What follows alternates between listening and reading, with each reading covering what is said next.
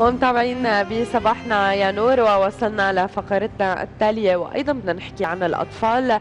حيث يلعب فصل الصيف دورا كبيرا في حياة الأطفال على المستوى الغذائي والصحي بما يستوجب تدخلا سريعا وفعالا من قبل الأهالي بوضع برنامج غذائي صارم ومدروس لأطفالهم آه، لحتى يقيهم من حرارة المرتفعة وسيئات فصل الصيف. شو هي الاحتياطات يلي لازم الأهل يتبعوها؟ وشو النظام الغذائي الصحي والصحيح للحماية في فصل الصيف رح نتعرف عليها أكثر معنا الدكتورة دينا العطار اختصاصية تغذية. صباح الخير دكتورة. أهلا وسهلا فيكي يسعد صباح الدكتورة بالبداية يمكن مع فصل الصيف والأجواء الصيفية دائما في أكلات جاهزة وجبات جاهزة مشاوير خارج البيت تلاقي الولد بده شيبس بوظه بنفس الوقت أنا ما فيني أحرم ابني من كل هي الأكلات. بس خلينا نحكي كيف فيني أنا اتبع بشكل صح؟ ما كتر منها ممكن بعض الوجبات أعملها بطريقة صحية وبنفس الوقت ما احرم أحرم الطفل. تمام. أكيد أول شيء نحن بدنا نحافظ على النظام الصحي تبع الطفل لأنه هو له احتياجات هو بسن نمو فله شغلات معينة هو بحاجتها جسمه بحاجتها. فإذا اعتمدنا على الأكلات الطيبة وعلى الشيبس وعلى الشوكولا وعلى ال ice cream فهو عم ياخذ سعرات حرارية بس ما عم ياخذ أي فائدة صحية. لأنه هدول هن فارغين من الفيتامينات فارغين من المعادن فارغين من البروتينات. فارغين من القيمة الغذائية العالية. فرحنا لازم نحافظ له على القيمة الغذائية العالية اللي لازم لازم ياخذها. فلذلك أهم شيء كست بيت وكأم تحافظ إنه يكون عنده وجباته يعني الفطور الغداء العشاء هن وجبات أساسية. وتصفى ال ice cream أو هدول هن عبارة عن سناك ما الوجبة الأساسية. نعم.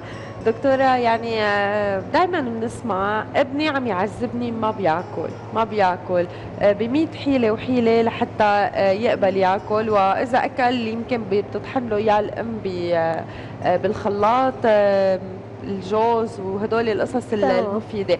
خلينا نحكي عن هذا المرض إنه إنه الولد ما بياكل. كيف بده يصير ابننا ياكل وسهل يمكن بالتعامل بي حتى بكل الأنواع الأكلات؟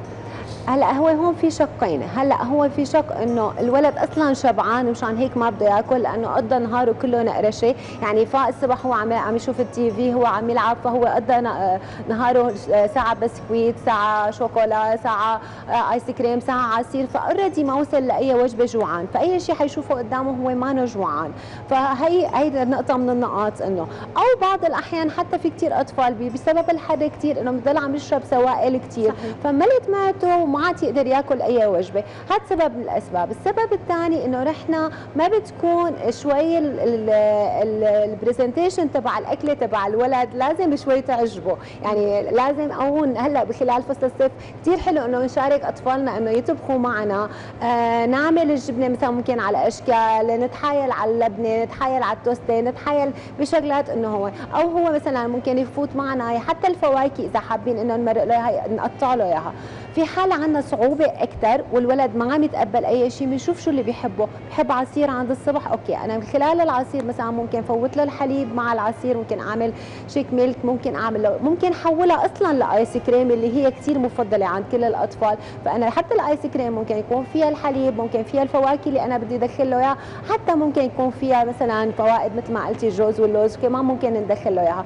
فبنروح على الأكلة اللي هو بيحبها وبنحاول شوي هيك مثل ما بنقول نلغم ما بالشيء المفيد بالنسبة له وأهم شيء حافظ على وقت الأكل تبعه. لأنه إذا طول النهار عم يأكل فما حيوصل لأي وقعه هو جوعان. فرحنا إذا حافظنا إنه بعد ما فاق من الفطور بساعة أخذ وجبة الفطور ولو شيء بسيط بعد ساعتين مرقنا له سناك بسيط ممكن يكون هو يوصل لدرجة إنه هو ما ما يوصل لأي وقعه ما جوعان. طيب خلينا نحكي بما إنه ذكرتي الفواكه دكتور الفواكه الصيفية غنية ومنوعة. يمكن كثير من الأطفال بيحب بعض الفواكه الاستثنائية في ناس بتلاقيهم لا. يعني دائما الطفل هو بيغلب الأم بالأكل إن كان فواكه ولا خضرة ولا طعام عادي. كيف فيني أنا أمرق هي الفواكه بطريقة صحية وما كتر منها؟ لأنه يمكن بعض الفواكه كمان الإكثار منها بيضر. أكيد. طبعا أنا مستحيل إنه أخلي طول النهار مثلا ابني مثلا والله عم بيحب البطيخ عم يأكل طول النهار بطيخ أو مثلا دراء لأنه أنا كمان حفوتهم بمشاكل ثانية أول شيء هو يعني حتى الفواكه قديش مفيدة فيها نسبة سكريات كثير عالية. فأنا سفي هو عم يأخذ مثلا آه، صح عم يأخذ إنه سوائل منيحة بس عم يأخذ نسبة سكريات وما عاد يتناول أي وجبة ثانية وبالإضافة إنه ممكن هي الأمور كمان زيادتها تعمل تعفن بالأمعاء يعني مع الوقت مع الكترة مع الكترة وممكن تعملنا مشاكل ومغص وهالأشياء هي اللي ممكن تصير بالصيف خاصه زي ما كان حفظها جيد. فبذلك نحن عم نحاول إنه السناك تبعه يكون من هالأشياء اللي هو بيحبها. يعني مثلا هي نفسها ممكن نفسه ممكن الفواكه مثل ما قلنا نعملها ايس كريم ممكن نعمل له إياها سلاش ممكن نعمل له إياها شيء بارد يحبها. ممكن نقطعها نحطها على شيش هيك تعجبه ممكن هو يشارك بتقطيعها ممكن يترافق مع رفقاته وقت يجوا لعنده. ممكن بأسوأ الأحوال الجلو ممكن بيحبوه الأولاد ندخل لهم اياهم كل قطع الفواكه اللي ما بياكلها الولد ندخلها بالجلو بأي شكل من الأشكال ممكن ندخلها. بس نحافظ إنه كثير ما يكون طول النهار نحن معتمدين على هي الأساس. الخضر بالذات طبعا أصعب من الفواكه. ما هو الفواكه فيها طعم سكر بيتقبلها الولد أكثر الخضر هي اللي أصعب. لذلك بنلجا بالساندويش اللي هو بيحبه إنه ندخل مثلا هذا الشيء مثلا هو بيحب ساندويش مثلا برجر. نفترض نحاول طبعا تكون هي مشوية بالبيت خالية من الدهون اللي ما لها صحيه اللي بتكون مثلا برات البيت. ونحاول هي نفسها مثلا آه إذا ما بياكل بندوراي نعمل رحنا بالبيت صوص مليء فيه بندوره بدال الكاتشب بنحط له هذا الصوص اللي فيه بندوره فيه بصل فيه فلفله فاعطيناه الإفادة ورحنا قلنا له إنه هي مثلا هي مثل الكاتشب هي الصوص اللي أنت بدك إياه. بس رحنا من خلاله مرقنا الأشياء المفيدة اللي حابين نعطيها للاولاد تمام. دكتورة آه، كثير من الأهل آه، بيكون يمكن آه، ما عم يتقبل الولد إنه يطعموه أو يتقبل الوجبات الصحية فبيلجأوا لحتى يعطوه vitamins خلينا نحكي عن ال vitamins إذا هي صحية بعمر صغير. صح إنه نبلش فيها وصح إنه هي بتعوض عن تغذية كثيره تمام مثل ما قلتي هي تعويض.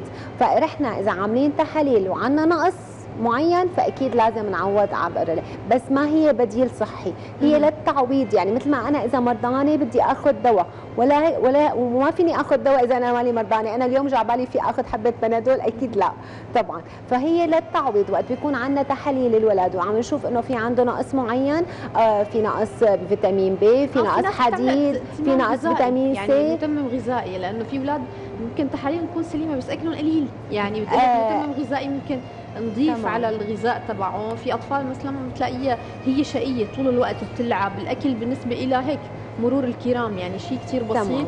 فالدكاترة بيعطوكي هيدا الفيتامين إنه هو متمم غذائي للطفل. آه رحنا رحنا الدليل تبعنا الدليل تبعنا درجة النمو تبع الطفل التحاليل الطبية هدول الدليل تبعنا إنه إذا في نقص بالنمو إذا مثلا حتى وزنه أقل من عمره طبعا. طوله آه مثلا عم تتأثر أظافره شعره بنشوف من هدول يعني هدول هن بيعطونا إنه في نقص بالنمو. أما نحن نجي الولد ما عنده أي شيء بجوز نحن عم نشوفه ما عم ياكل هالكمية. الكمية الكبيرة بس إذا عم ياخذ احتياجاته يعني نعرف إنه رحنا عم ياخذ احتياجاته مثلا آه، من النشويات احتياجاته من اللحوم والخضار عم ياخذها لو بشكل قليل ولو شكل متفرق. طالما ما عندنا نقص فأنا ما بفضل لأنه كثير أمهات لجأوا لهي الفكرة وبالنهاية بالنهاية بيجوا لعندك بسن المراهقة بيقول لك أنا عندي صار سمنة عند الولد. أنا وقت ما كان صغير كان ما ياكل. بتعرفي أنا أعطيته فاتح شهية أعطيته فيتامين. بما أنه رحنا ما عندنا نقص فما نلجأ لهذا الشيء. دائما نحاول نعود الولد إنه هو يأخذ. وأنا بقول أهم شيء هو العادة هو بيأخذها من الكبير. يعني أنت بتشوفي الأولاد كثير بيقلدوا أمهاتهم أو بيقلدوا الكبار اللي هن موجودين بالبيت. فهن لو حتى مثلا الأم قاعدة عم تشرب فنجان شاي فالولد هيك يعني بيقلدها. فنحاول العادة الغذائية إذا بدنا نعطيها لأولادنا بشكل صحيح تكون منا أما إذا إجت لعندي آه، أم عم تقول أنا ما باكل لحمة أنا أصلا عندي نقص حديد. أنا عندي نقص فيتامين د. طيب الولد كيف بده يطلع هذا الشيء؟ ما هو من الأصل أخذه من الأم. يعني من خلال ما كان هو فترة الحمل عنده هذا النقص اللي أخذه من الأم وبالتالي كمان من طريقة تغذية الأم. فهو نفس الشيء أخذ هي العادة الغذائية الغلط تمام. دكتورة الأطفال بفصل الصيف بيطلبوا كتير حلو.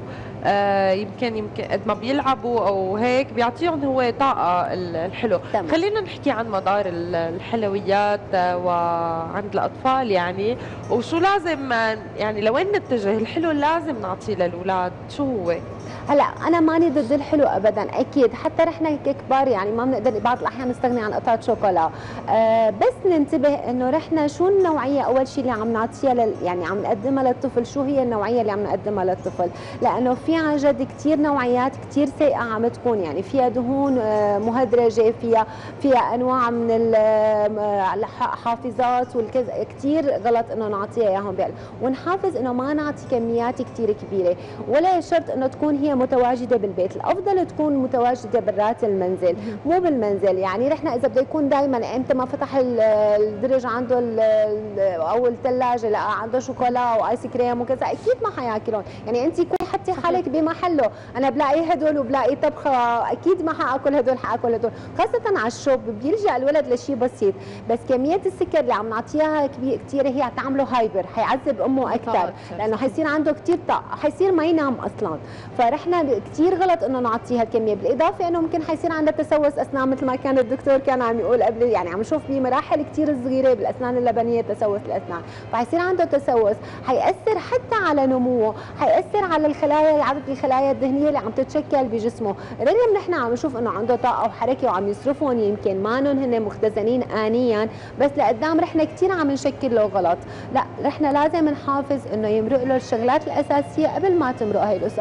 خليها كمكافأة برات المنزل خليها مرتين بالأسبوع وننتبه للنوعية اللي عم نعطيها. وخاصة بفصل الصيف بتعرفي إنه الآيس كريم وهالقصص هي كثير بتتعرض لفساد. صحيح. يعني بدرجات الحرارة العالية بتتعرض لفساد. فكثير بدنا ننتبه إنه شو نعطي. يعني ما نحاول أي شيء مغلف نعطيه نحاول نكون واثقين من الشيء اللي عم نعطيه للطفل. دكتورة خلينا نكن نحكي كيف فينا نعود طفلنا على نظام غذائي صحي وخلينا نحكي النظام الغذائي كيف فينا نبلش معه بداية النهار. بوجبة الفطور الغداء العشاء السناكات اللي هي فعلا بين الوجبات قديش مهمة. تمام. إحنا أول شيء إنه مزبوط هو فصل الصيف هو فصل إنه عدم الانضباط. كلياتنا يعني بصير الولد الفئة تبعه ما مثل ما قبل يعني عم يفيق متأخر الغداء تبعه ما منتظم آه عم عم يظهر برات البيت عم يلعب عم كذا. كل هدول الأمور نحاول نحن الأم بتنظمهم بشكل أساسي. يعني لو تأخر مثلا كان عم يفيق على مدرسته على السبعة مثلا صار عم يفيق على 8 ونص 9 بس دائما يعني نحافظ على وجبة الفطور مثلا مثل ما قلت قبل شوي بالساعة الأولى ورد نعطيه بعد ساعتين سناك بس. بسيط. ما مهم كثير كمية الأكل ما نعول على كمية الأكل قد ما هي النوعيه إنه يكون مارق له من كل شيء هو بحاجته خاصة البروتين. لأنه البروتين هو الحجر الأساسي للبناء وهن أهم شيء بحاجته. أكثر من السكريات وأكثر من النشويات. فهدول الأمور كثير ضرورية. فيتامينات ومعادن نحاول نمرقها بوجبة الغداء قد ما بنقدر. وعندنا سناك بعد الظهر هذا اللي ممكن يكون مثلا مرق في شيء. حافظ بفصل الصيف ما نعطيهم كثير شيبس لأنه أصلا كل شيء مالح حيعطشهم أكثر حيسحب يعني حيصير جفاف بجسمهم وحيسحب السوائل من جسمهم. فكمان نحاول نبعد عن هي الأمور اللي كثير إنه فيها أملاح كثير كثير نحاول نبعد عنها. ثاني شيء إنه نستغل هالطاقة والنشاط اللي عندهم إنه مثلا نشوف عندهم هواية عندهم رياضة عندهم ميل للسباحة نسجلهم بنادي يقدروا يمارسوا هالهوايات. ما نحاول إنه يضلوا طول النهار قاعدين عم يلعبوا على الألعاب الإلكترونية على التي في إنه يضلوا قاعدين عم يتنقرشوا ورحنا عم وعم ياكلوا. هذا كثير غلط بالنسبة لهم لجسمهم لبعدين لحياتهم كثير غلط. وبنحب والأم أهم شيء هي مثل ما بنقول هي المدرسة. الأساسية. فمثل ما قلت إنه هو بيقلد أمه وبذلك إذا هي بتعطي العادات الصحية أكثر من ما هي تدريب هي تقليد. بالفترات الأولانية من العمر بتقليد أكثر من ما هي تدريب. لأنه يعني كل شيء بتجيبيه للولد بالغصب أو بتأمريه فيه فأكيد ما ما ما حيعمله نهائيا. فهي حالة ترغيب أكثر من ترهيب. نعم. دكتورة خلينا نحكي عن الوجبات الصحيحة الصحية الصحيحة. قديش لازم يكون في بعد بين الوجبات؟ وهل صحيح مثل الصغار مثل الكبار فينا نمرق سناكات من الفواكه من الخضرة من القصص المفيدة بين الوجبات؟ تمام أكيد. آه مثل ما قلنا رحنا لازم ثلاث وجبات فطور وغدا وعشاء. أقلها أقلها وجبتين يعني هي الفطور والعشاء وخلينا نحكي عن المدة الزمنية لأنه كثير من الأهالي. بيضيعوا بالمده الزمنيه وخاصة للأطفال الجداد أي. هلا المشكلة إنه هو مثل ما عم بقول لك بما إنه نظام الوقت غلط فالولد عم ينام حتى متأخر وعم يفيق متأخر يعني نحن ما بنحبذ الأكل اللي بالليل يعني, يعني أنت عم تلاقي الولد هو عم ياخذ وجبته الساعة 12 أو الساعة 1 بالليل لأنه سهران مع أهله وبرات البيت وكذا. فكمان هي المشكلة كثير كبيرة لأنه أصلا ما عم يهضمها صح واصلا إذا هي فيها سكريات عالية عم تروح للاختزان.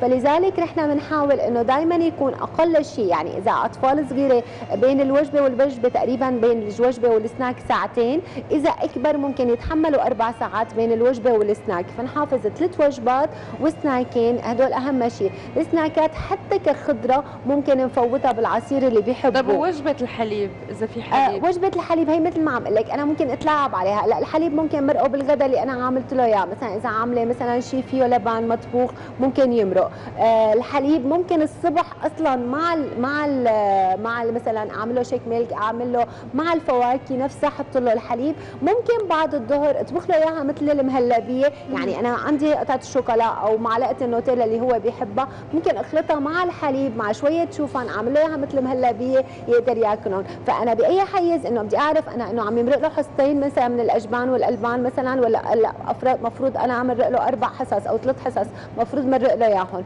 بين جبنة بين لبنة بين حليب ممكن بقلب الأكل. حتى ممكن كثير أحيانا إذا ما بيقبل الساندويش ممكن أحيانا بقلب السلطة أنا مرق الشيء يعني بالسلطة ممكن أنا أجيب أعمل بيضة أقطعها معها حتى على الوش. ممكن آه، إذا ما بياخذ البيضة مثلا مسلوقة ممكن اقلي له اياها يعني هي أكيد. بوجبه الفطور أكيد. يعني كل الأطفال تلاقي ابني ما بيحب البيض ما بيحب اللبنة ما بيحب الجبنة. بتلاقي خصوصا مع الأعمار الصغيرة. يعني تمام. مع بداية عمر السنتين لثلاث سنين هي مرحلة التأسيس الغذائي للطفل. كثير صعبة على أنا فيني أحول البيضة؟ هي الكريب.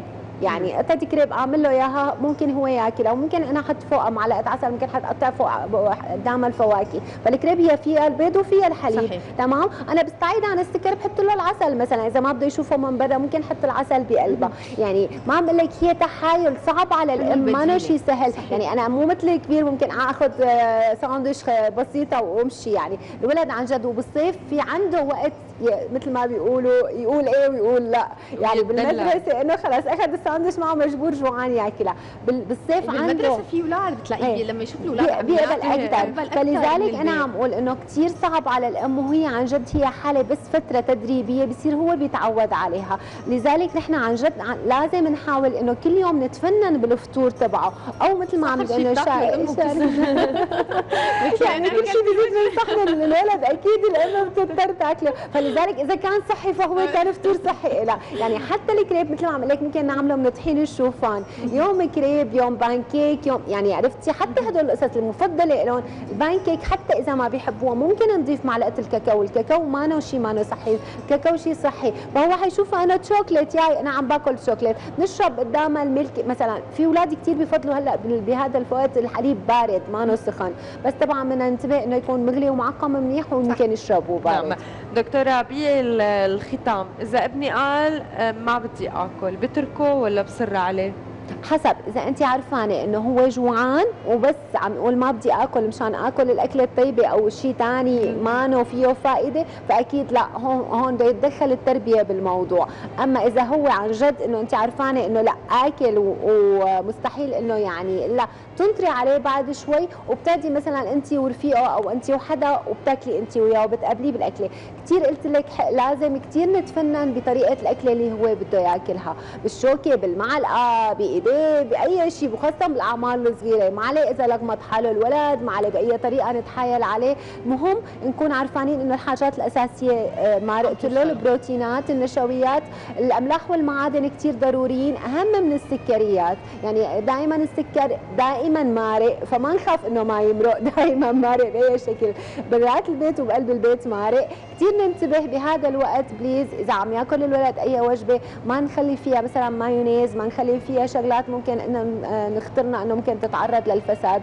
ونحاول حتى المقالي والقصص هي إنه نبعد عنها. يعني إذا بحب crispy بحب هي أو حتى وجبة الهمبرجر أو وجبة هي نحاول إنه تكون شيء مشوي منه كثير مقلي. يعني حتى الأسكالوب هي مقلية بس فينا نشويها مثلا بالبيت ونقدم له إياها بطريقة شوي صحية لانشان لأنه كمان هي المقالي وكذا هن عم فوت لهم دهون هي عم ترفع سعراتهم الحرارية عم يشوبوا أكثر منها. أخصائية التغذية الدكتورة دينا العطار شكرا لوجودك معنا وللنصائح اللي حكينا عنها اليوم. شكرا كثير لك أهلا وسهلا فيك. شكرا كثير لك دكتورة. أهلا وسهلا أهلا وسهلا